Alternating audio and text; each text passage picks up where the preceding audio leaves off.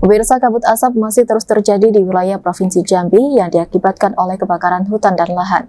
Bahkan skala indeks standar pencemaran udara atau ISPU di Jambi per Jumat 29 September mencapai angka 146, yang artinya tingkat kualitas udara di Jambi masuk kategori sudah tidak sehat. Kepala Dinas Lingkungan Hidup Provinsi Jambi Varial Adi Putra menyebutkan kualitas udara di Provinsi Jambi kondisinya sudah tidak sehat. Hal ini ditandakan dengan kabut asap yang kerap menyelimuti sejumlah wilayah di Jambi, utamanya pada pagi hingga siang hari. Efek kabut asap ini secara otomatis meningkatkan skala indeks standar pencemaran udara atau ISPU di Provinsi Jambi.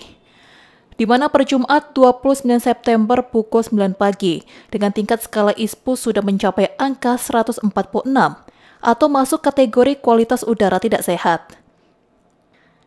Varial berharap terkait dengan ini harus memang ada penanganan segera sehingga tak berdampak luas khususnya pada anak-anak sekolah yang beraktivitas di luar termasuk juga lansia. Lebih lanjut menurut Varial, skala indeks diukur dari dua alat ISPU yang ada di kota Jambi dan Kabupaten Tanjung Jabung Timur. Cuman adalah kabupaten kota, saya selalu menginformasikan bahwa kondisi di kota ini kondisi udara seperti itu. Dan alhamdulillah seperti yang terpantau di alat kita ada dua kan? Satu di kota satunya di Tanjung Jabung Timur. Iya. nah di Tanjung Timur bagus ya. Kondisi udaranya bagus.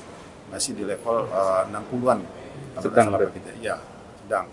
Masih kondisinya masih cukup lah di situ ya.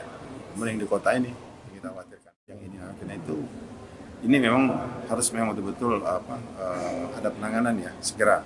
Karena kita tidak ingin ada dampak terhadap anak-anak ya. Demikian anak sekolah kan eh, di, di dual beraktivitas di, di luar nanti kan mereka kan gitu.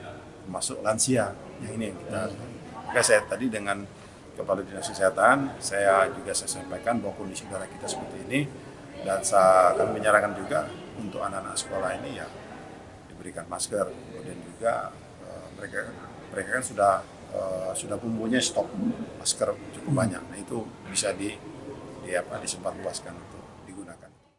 Rian Chen, Jek TV melaporkan.